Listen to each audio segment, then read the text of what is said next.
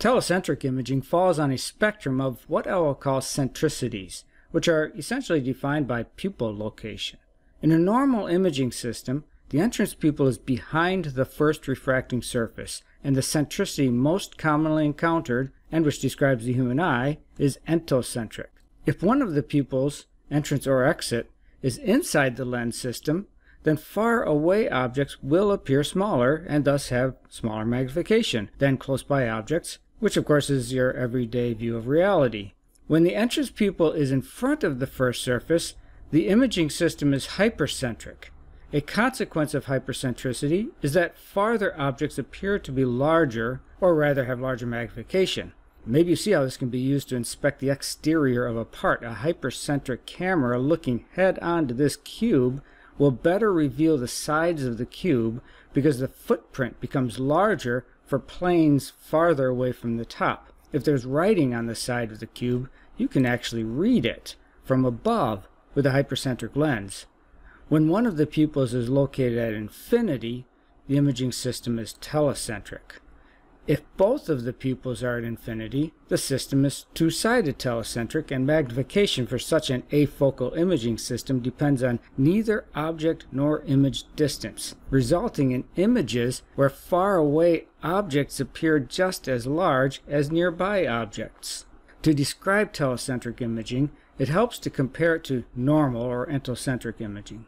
If you want to measure the sizes of these cubes and all you have is a camera and a ruler that is fixed in place between the camera and the objects, you might capture an image of the ruler in front of the cube and try to match the lines of the ruler with the edges of the cube. You can expect to get a more accurate read on the cube that is closer to the ruler. That is certainly due first to the fact that the farther cube has smaller magnification and thus appears smaller on the image surface, and second to the problem of parallax which results from the edges of the distant cube not lining up with the correct lines on the ruler. If the camera lens is telecentric, then both the near cube and the far cube will have the same magnification, and thus the same image size. Likewise, the ruler will have the same magnification. Both cubes appear identically sized because a telecentric lens selectively gathers light that is parallel to the optical axis. This parallel nature of the light doesn't just eliminate depth perception, it eliminates parallax. Now an imaging system can accurately measure dimensions in a three-dimensional scene, which is a key function of machine vision systems. Maybe look at it like this. If a normal imaging system is looking down on these three cylinders, each cylinder will appear differently in the normal view, depending on the location of the cylinder relative to the optical axis. A telecentric view will present each cylinder as identical, with only the rays parallel to the optical axis making it through the lens, the sides of the cylinders will be difficult to perceive in a telecentric view. The comparison hardly stops with that. The normal lens can have a wide field of view, whereas the telecentric lens only gathers on-axis light, meaning that the telecentric lens will need to be larger in order to view the same scene. A large lens diameter is used in order to provide the telecentric lens with a wide linear field of view. So how does a telecentric lens work? A telecentric lens forces the chief ray to be parallel to the optical axis on object side, on image side, or on both sides. It's easy to make this happen by positioning a physical aperture stop at the back focal point, the front focal point, or at a common focal point in case there are two lens groups. The parallel orientation of the chief ray presents a problem with locating the pupils because the chief ray crosses the optical axis at the pupils and at the aperture stop. It would seem then that the entrance and exit pupils in the doubly telecentric system illustrated here are infinitely far away. And in fact, they are located at infinity because principal planes are located at the point where incoming and outgoing rays intersect both principal planes of a doubly telecentric system are also located at infinity, meaning that a doubly telecentric system is afocal and the f number isn't even a suitable metric then for the system aperture. Instead, it's better to use perhaps the paraxial working f number, which is inversely proportional to the numerical aperture and depends on the location along the optical axis of an axial emitting point source. The ratio of numerical apertures on the object and the image side is the paraxial magnification, or PMAG in Zemax Optics Studio. Using a parallel chief ray as the criteria for telecentricity, it should follow that there are three possible telecentric conditions. If the chief ray is parallel to the optical axis on the object side of the imaging system, then the telecentricity is object side. This condition can be accomplished with a landscape configuration where the aperture stop is positioned at the rear focal point of the lens or the lens group. When telecentricity is object side, the image height is the same for all object distances. This might seem unlikely to you because you know that as the object moves farther away from the lens, the focused image moves closer to the lens and closer to the optical axis. That is, the far object has a smaller magnification. Well, that doesn't really change. That's still true. But it is the focused image that moves closer to the lens and to the optical axis. Consider this. When a point object is at position 1, its focused image forms on the screen. Now, if the point object moves to position 2, its focused image forms closer to the lens as well as closer to the optical axis as expected. It's what's happening on the screen that's important. The light that forms the nicely focused image continues onto the screen and leaves an unfocused blur. It's the center of that blur that is at the same height as the nicely focused image formed by the object when it is at position 1. And that's what matters. The detector array will indicate the same image height at the screen for a range of object locations. In many machine vision applications, that might be all that is needed in order to locate an edge or to measure a part dimension. So for the purpose of machine vision using object side telecentricity, the working distance has quite a bit larger range than just the depth of field, which is constrained by image quality. If the chief ray is parallel to the optic axis on the image side of the imaging system, then the telecentricity is image-sided.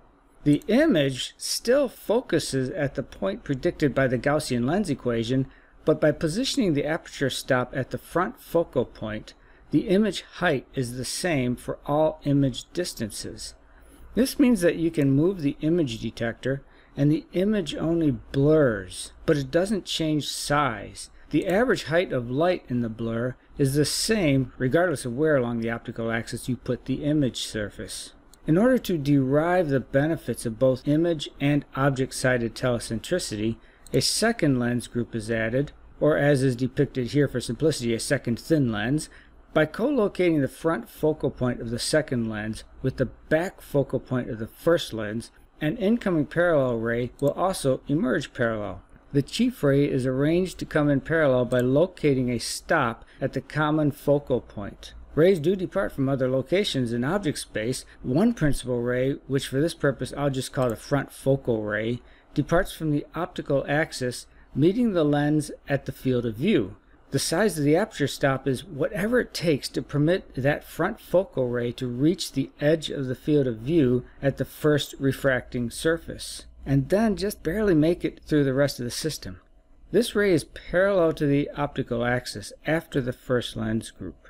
If the aperture stop is any larger than shown here, then the field of view grows beyond what is intended.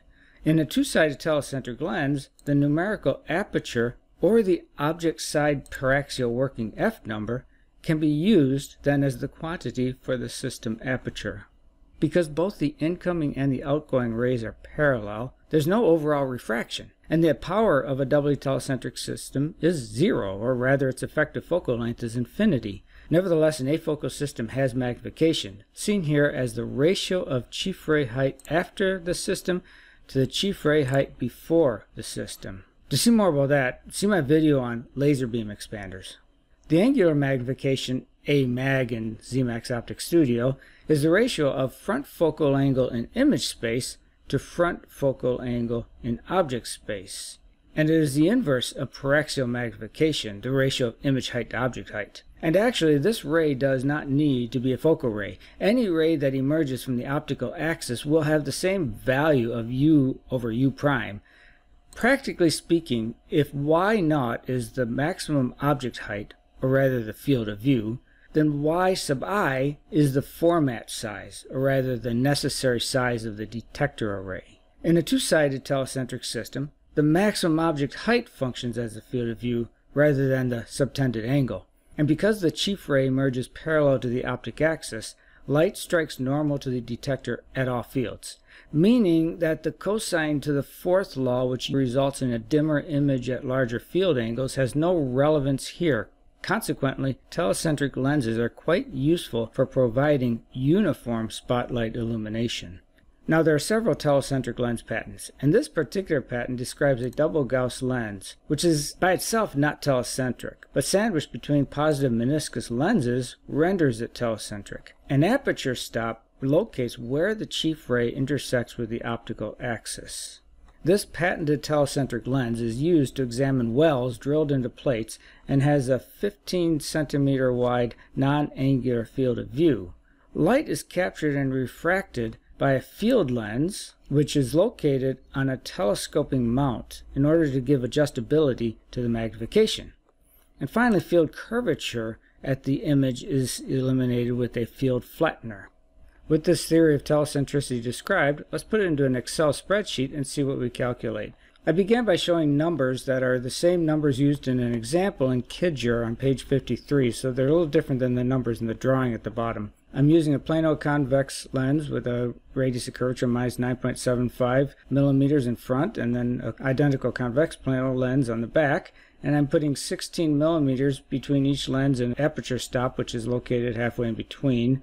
And the spreadsheet calculates a telecentricity of 7.57 times 10 minus 3 degrees, or rather 1.32 times 10 minus 4 radians, and that shows up right down here in the end.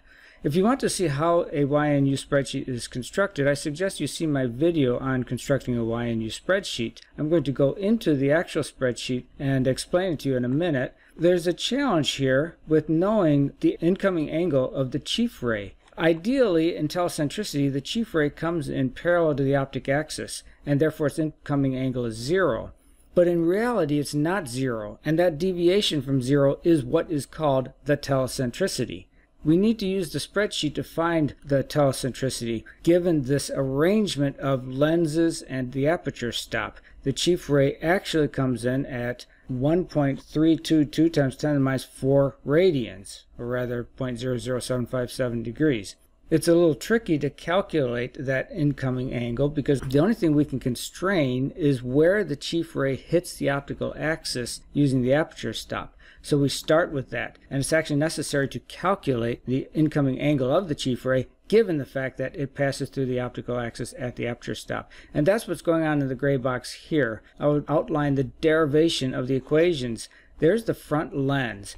So the chief ray comes in along line 1 here and it strikes the lens at point 2, an angle of u1 and a height of h1. And then it passes through the lens along path 3 and it strikes the back surface of the lens at point 4 and refracts and then follows path 5 until it hits the optic axis at exactly where the aperture stop is located. So d is the distance from the back of the lens to the aperture stop, t is the thickness of the lens, d0 is the distance from the object to the front of the lens, and ideally any value of d0 should work because ideally u sub 1, the angle, is 0 but it's not in reality, and we're going to figure out what it should be. Given these angles, the angle of incidence u1 for the chief ray, and then the angle at which it strikes the back surface u2, and then the angle from which it emerges u2 prime. So we'll write the paraxial ray trace equations that are outlined in Geary chapter 4. First, along line 1, we have a straight line transfer and we strike the lens at point 2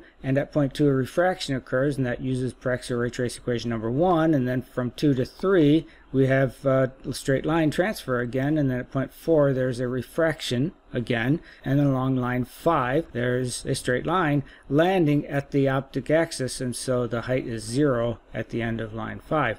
So now we have five equations and we need to solve them to find u sub 1. And I'm just going to give you that result. Ideally, u sub 1 is 0, but we're going to find out what it really is given things like the thickness of the lens, the index of refraction, the location of the aperture stop. Solving those five equations gives this expression, uh, where a and b are, are dummy expressions that are used just to clean it up a little bit, and so we need to have this thing called a and this thing called b. Phi sub 1 and phi sub 2 are the powers of the front surface and the back surface respectively, and is the refractive index of the lens material. So here we are in the Excel spreadsheet. And the blue numbers are inputs from the user and the black numbers are formulas. So the user defines the radii. So we have a flat surface with an infinite radius of curvature and then the two curved surfaces and a flat surface. There's a stop in between. You know, a stop after a lens is always tricky and that's why this gray box is over here with the equations we just derived.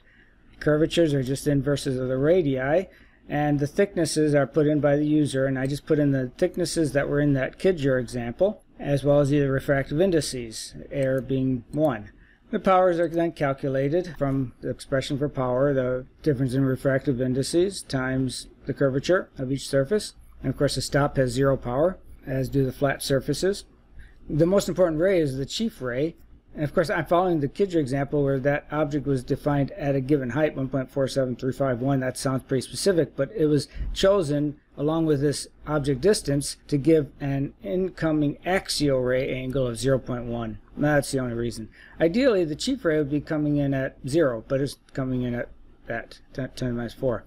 So as far as this 0.1 radian angle for the axial ray is concerned, if I change something like, say, this thickness, I'll change it to 25 you'll notice the telecentricity does not change.